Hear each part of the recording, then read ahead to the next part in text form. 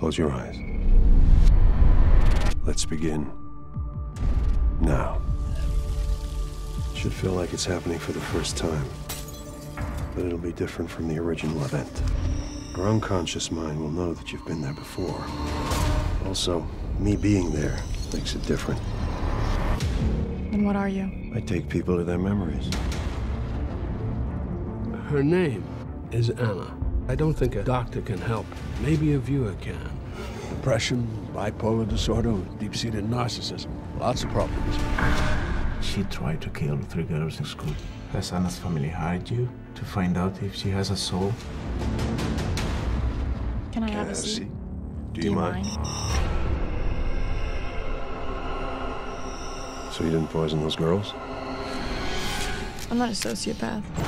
Just smart enough to think like one. Do you trust Anna? Sometimes I get the feeling she's watching me.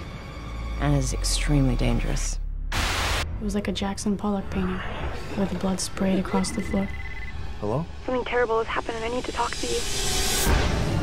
On Monday, Anna will be confined to an institution. There is something going on there behind the scenes. Suspected of murder, Mr. Washington. She set me up. I'm telling you, she made it all up! Anna. You're not gonna stop me.